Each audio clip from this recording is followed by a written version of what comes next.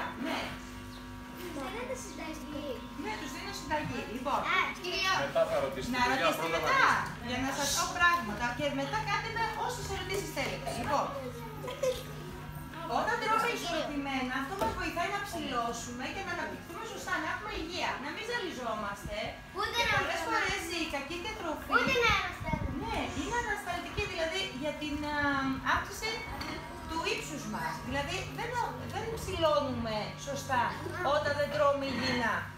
Λοιπόν, τι πρέπει να τρώνε τα παιδάκια; Για να μάθουμε τι πρέπει να τρώμε. Ψάρια. Ναι, Κυρία, ψάρια σωστά. Φρούτα. Λαχαριά. Φρούτα,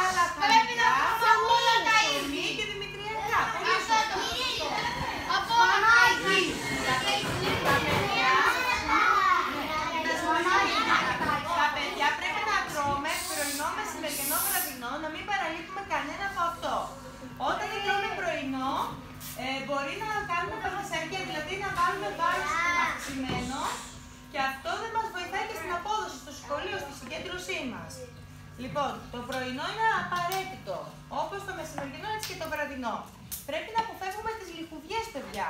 Στη μεσογειακή διατροφή τρώμε σωστά και ισορροπημένα. Ποιες είναι οι λιχουδιές, ξέρετε; Ναι. Ναι, τα ζαχαρωτά. Το παγωτό δύο φορές την εβδομάδα είναι υπεραρκετό. Παραπάνω μετά αυξάνει ε,